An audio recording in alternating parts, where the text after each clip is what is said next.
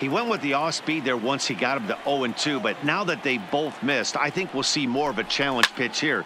You don't have to give in, but you can't be too cute either.